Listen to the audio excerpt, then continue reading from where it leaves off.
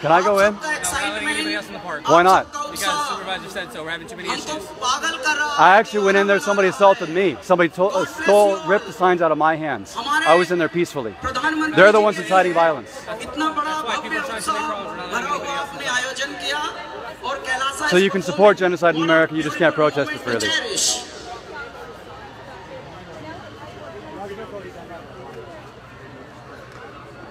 Thank